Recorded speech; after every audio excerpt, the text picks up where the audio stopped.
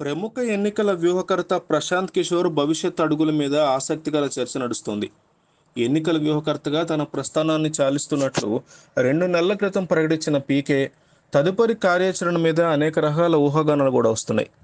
అయితే అతని నిర్ణయం ఎలా ఉంటుంది? ఎవరో ఎప్పుడు అడుగులు వేస్తాడనేది ఇప్పుడు దేశం అంతా ఎదురు చూస్తోంది బీజేపీ ఇతర పార్టీలన్నింటినీ ఒక తాటి మీదకి తీసుకొచ్చి రెండు వేల ఇరవై నాలుగు అసెంబ్లీలో ఆ పార్టీని ఓడించడమే లక్ష్యంగా ఆయన పనిచేయబోతున్నారనే వార్తలు వస్తున్నాయి. ప్రత్యక్ష రాజకీయాల్లోకి దిగేందుకు కూడా సిద్ధమవుతున్నారనే వార్తలు వస్తున్నాయి. ఈ క్రమంలో పీకే జగన్మోహన్ రెడ్డికి హ్యాండ్ ఇచ్చి ఆయనకు అస్సలు ఇష్టం లేని కాంగ్రెస్ పార్టీలో చేరబోతున్నారంటూ కొంతకాలంగా ఊహాగానాలు వినిపిస్తున్నాయి. అయితే ఇవి కేవలం ఊహాగానాలు కాదన్న సంగతి రీసెంట్గా తేలిపోయింది. రెండు వారాల క్రితం ప్రశాంత్ కిషోర్ కాంగ్రెస్ అధినేత్రి సోనియా గాంధీ రాహుల్ గాంధీ ప్రియాంక గాంధీలతో సమావేశమైన సంగతి తెలిసిందే. వచ్చే ఏడాది జరగబోతున్నటువంటి పంజాబ్ ఉత్తరప్రదేశ్ అసెంబ్లీ ఎన్నికల మీద ఈ సమావేశంలో ప్రధానంగా చర్చించినట్లుగా వార్తలు వస్తున్నాయి.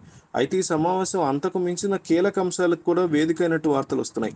ప్రశాంత్ కిషోర్ని సోనియా గాంధీ రాహుల్ గాంధీలు కాంగ్రెస్లోకి ఆహ్వానించారన్న ఊహాగానాలు వినిపించాయి.